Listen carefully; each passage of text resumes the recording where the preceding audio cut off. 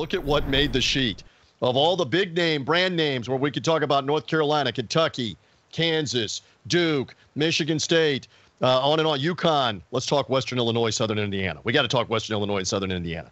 Uh, we're laying two here for Western Illinois on the road. Total 133 and a half. Kyle Hunter, this is your play for this Thursday program. What jumped out about this game? Uh, TJ, when people saw Western Illinois and Southern Indiana, they probably knew it was my play, to be fair. uh, but I will say there's not really a ton of big name teams playing tonight. There's a lot of games, a lot of small games, not many big name brand teams that are really good. Um, I think Western Illinois has kind of flown under the radar as far as how much they're improved. Boudreau has come in as the new coach there and done a really good job. Before the season, he said, We're going to focus on defense, defense first team. They've done that. They've been able to take care of it on the defensive end. Drew Cisse, kind of under the radar, really good shot blocker, like an excellent player on the inside. Uh, Western Illinois is blocking 15% of opponents' shots. That's a really high rate. So if you're blocking 15% of the other team's shots, you're going to be pretty good on defense. And, um, you know, I think that they're so good at controlling the pace uh, that I trust them to slow this game down. Southern Indiana's kind of been back and forth as far as whether they play quick or slow. But Western Illinois, five of their last six games have played to a 64 possession pace or slower. That's pretty slow. Uh, they're 304th in offensive efficiency. So they're not good at offense. They are good at defense.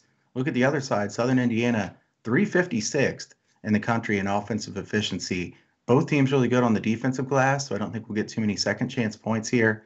I have to take the under in this one. I'm going to take under 133 and a half. And also, anytime we talk about Southern Indiana, TJ, the Screaming Eagles, fantastic name for a team. I mean, Screaming Eagles. Love it. And it's the Screaming Eagles Arena, by the way, for the Savages for this game tonight. All right, Jeff Nadu, we're off the beaten path here. We got a total of 133 and a half. Anything on this Ohio Valley Conference game? Again, Western Illinois 5 and 1 in the conference, like Kyle mentioned, as the road team.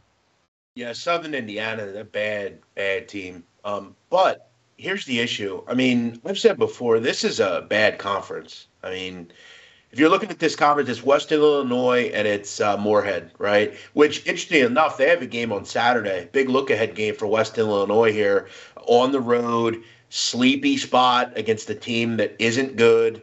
And Western Illinois while they've been good and they've win won games, again, it's the competition. You look at on the surface, I mean, there's not a lot to like about West Illinois. They don't hold on to the basketball. This is one of the worst free throw shooting teams in the country. They're bottom four in free throw percentage. Just can't get involved. Um, I think this is a scary spot if you're West Illinois because yes, they're six and one in conference, but who have you beaten? Throw in the fact you got to go on the road here, lay a little bit of a number, and you got a big look ahead game against the top team in the league on Saturday who haven't played this week. So something tells me Southern Indiana's the, the play in this game. Uh, Kyle, you took the under, right? Correct. Yeah, yes. I, I, mean, I, I have no. I think if, if the game is played out, I think it. You know, Western Illinois will struggle to score, probably miss a lot of opportunities, and Southern Indiana will stay in the game, kind of like Tennessee State did the other night against West Illinois and kept it in the 50s. Yeah, I, I like the play as well. Kyle sees that it's maybe ugly at times, low scoring. He says under tonight in this Ohio Valley game. He will go under the total of 133 and a half.